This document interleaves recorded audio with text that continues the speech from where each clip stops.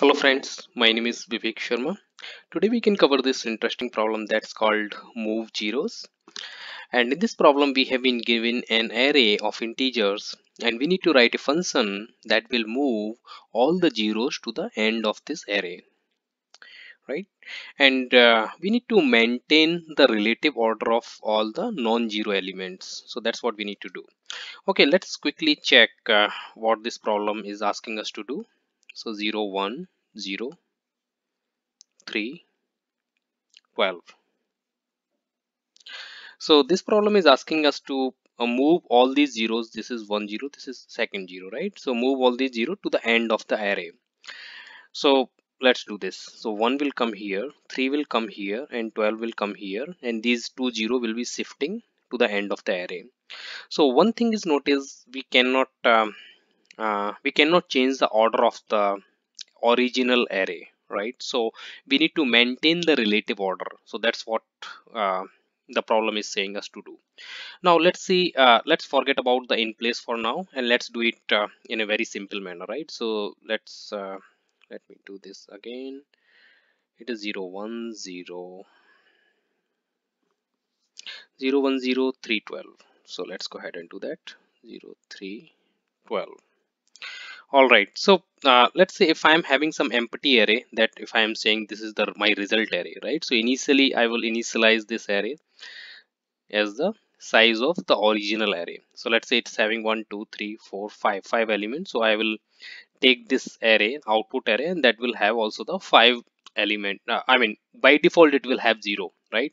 Once i say array of five five element then by default it will have the five zeros. So that's what it means. Okay so uh, now what I will do I will iterate uh, through this array and I will see the non non-zero element. So if it is one then I would uh, assign one here. Then I will go further. Initially I'm here it's zero so I'm not going to do anything.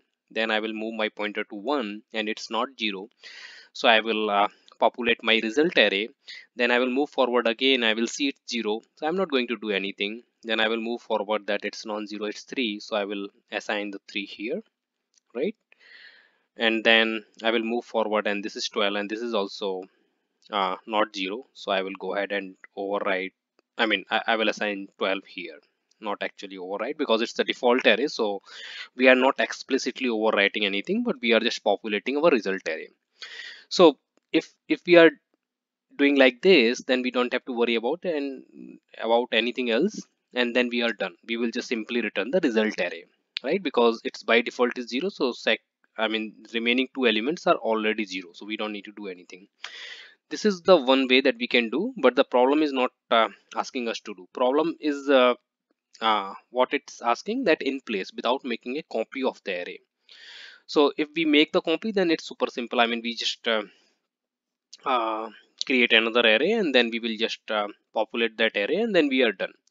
Now we need to do in place. So we cannot create a copy of the same array. We need to update the same uh, original array whatever the original array we have been given. So it is 0 1 0 3 12 right?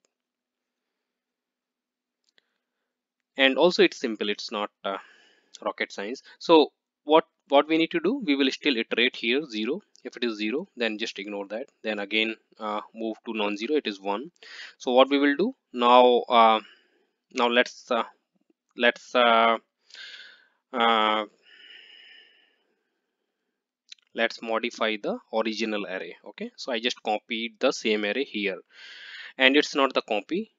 It's basically to explain the approach but you can assume that this is the array right? So i don't want to hodgepodge this particular array for the explaining purpose. So that's why i created i created the uh, same replica or same copy here just to explain but we are just going to modify the same array. Okay. Let me choose the different color so that at least uh, we know what we are doing going to do here.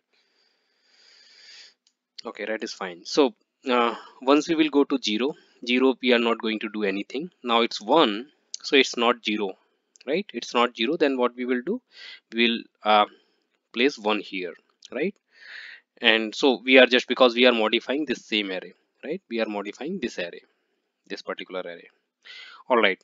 Now we will move forward to zero. So we are not going to do anything. Now we just come to the next element that's three. So 3 is not 0 so we will overwrite this one with the 3 right?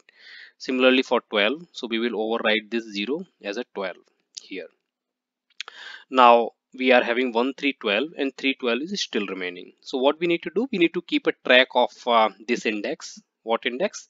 This index this running index right? So this index if we already know that it is pointer is on 12 then what we can do? We can just uh, get another loop and can modify the same array and then we can do 1 3 12 and then we can just check if it is not 0 then assign 0 0 or just by default fill all the zeros. So that's what also we can do and then this is how we will get the result. I think this approach should be clear. If not then uh, it should be pretty much clear with the code itself. So uh, code is super simple nothing else right? We just need to uh, we just need to see in our mind like how we are doing to do that right? So let's go ahead and do that quickly. It will not take a lot of time. So uh, what we are going to do here we are just taking one loop and what we are going to do here we will just checking if it is not 0 so nums i if it is not 0 right? Then what we are going nums.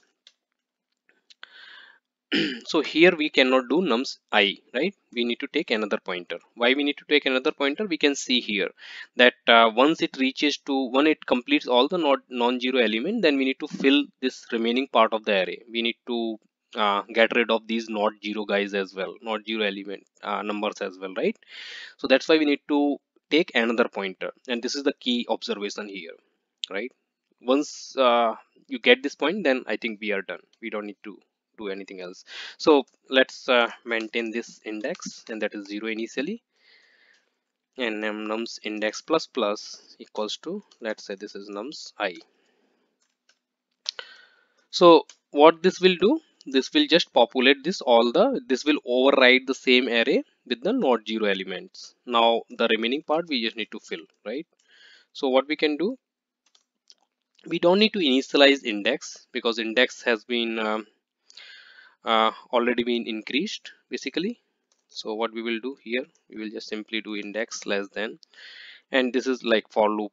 We can use we can use while loop as well right? Whatever suitable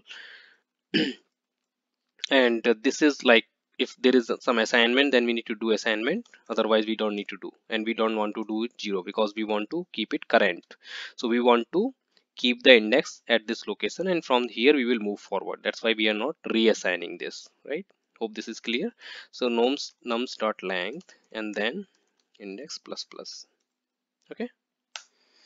Once this is there then go ahead and again do index equals to nums not nums but let's let's fill with the zero.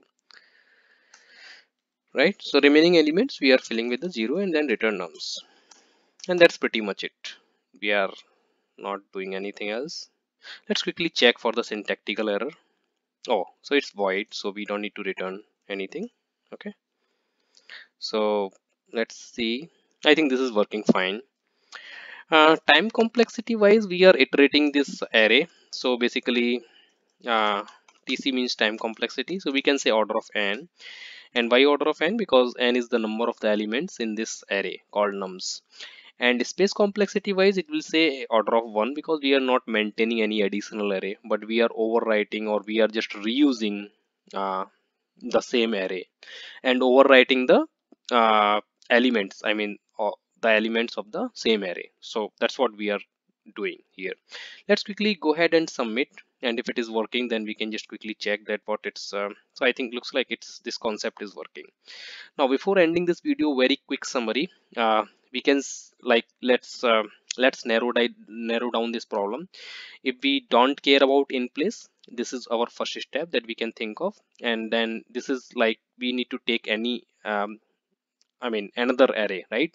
And that will be the brand new array. And we will take that array with the same size.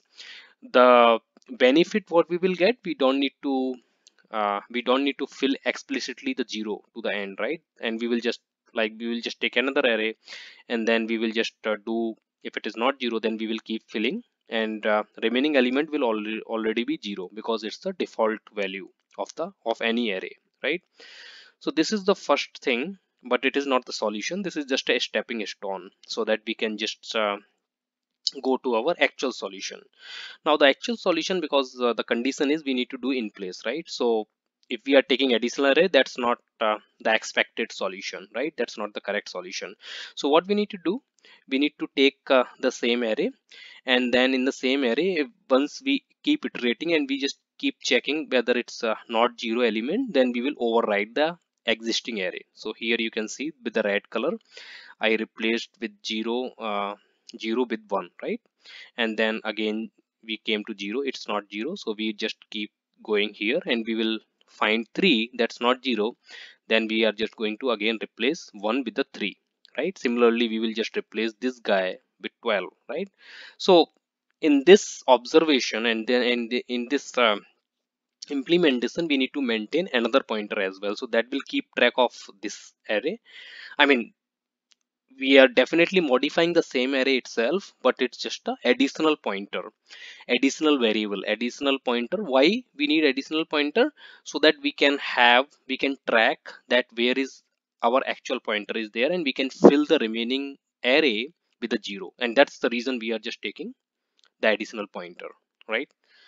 So now we know that our pointer is basically 0 1 2 second index so from second index onwards, we will fill zero. And that's what exactly we are doing in the code.